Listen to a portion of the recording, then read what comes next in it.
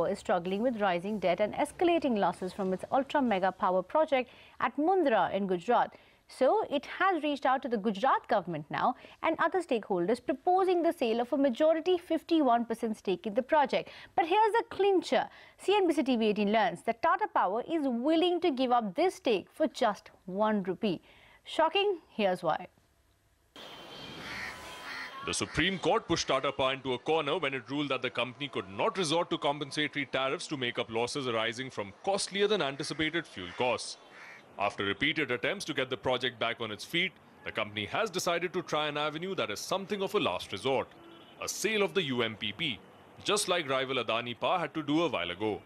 Tata Power has written to the Gujarat government, the power distribution companies it caters to, and the Prime Minister's office informing them of a decision to sell a 51% stake in the Mundra UMPP.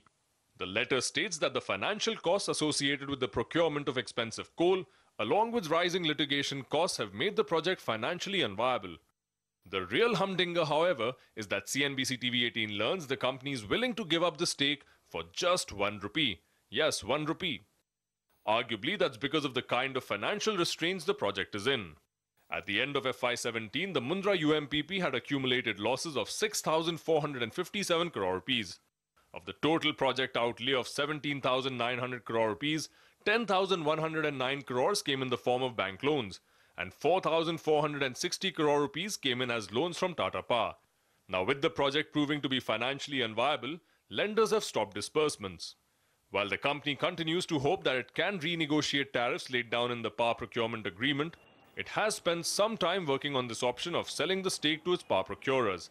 That's power distribution companies run by Gujarat, Rajasthan, Maharashtra, Haryana, and Punjab. We will therefore even look at the option if the procurers were willing to buy and compensate us for the under recovery, in which case they will have the benefit as promoters to increase value of the plant. At this stage, we are in more in sort of uh, exploratory mode and uh, the convergence would happen over a period of perhaps next six months to a year. The catch, of course, is that all five discoms will have to agree to the sale. The central government, which has been working with power companies, their lenders, and state governments to solve the problem of stressed assets in the sector, says it will act as a facilitator in this exercise. They have written to the state government, and uh, I've also received a representation from the state government but this is really a matter for the states and as procurers and the companies to sort out.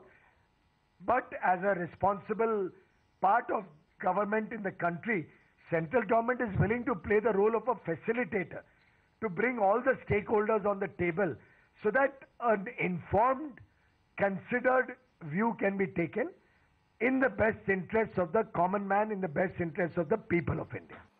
Tata Power believes this solution will be beneficial to all concerned. The company's statement reads, and I quote, if 51% equity is taken over on a back-to-back basis with the procurers, then the procurers would have advantage of competitive power for full life of the plant. Example, 40 years as also unrestricted generation even beyond 80% availability would give them access to high generation at very low and competitive price, end quote. But experts are not convinced. They warn that given the stressed assets in the power sector and the prevalent trends, it may not be advisable for states to step into a business they are not experts in. They add that options like the Insolvency and Bankruptcy Code may be a better bet. Bureau Report, CNBC TV 18.